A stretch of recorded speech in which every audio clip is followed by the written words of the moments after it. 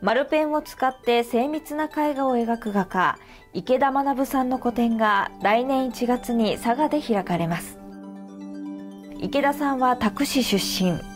文化庁の芸術家海外研修制度を利用し2011年からカナダのバンクーバーに滞在しました。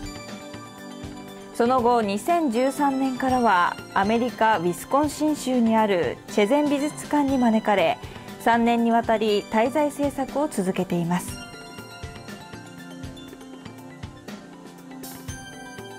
現在制作中の作品は縦3メートル横1メートルのパネルを4枚つなぎ合わせます。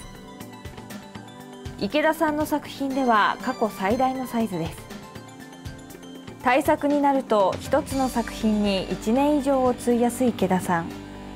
来年1月に開かれる個展ではこの新作を含め世界中のコレクターや美術館が所蔵する池田さんの作品およそ100点が並びます。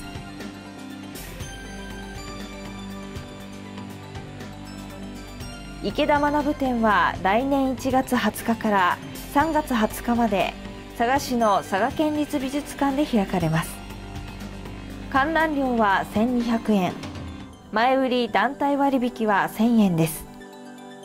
高校生以下は無料で前売り券は12月に発売予定です。